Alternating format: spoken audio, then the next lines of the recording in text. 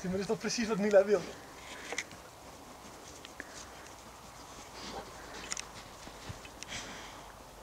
Zie je wat ik bedoel?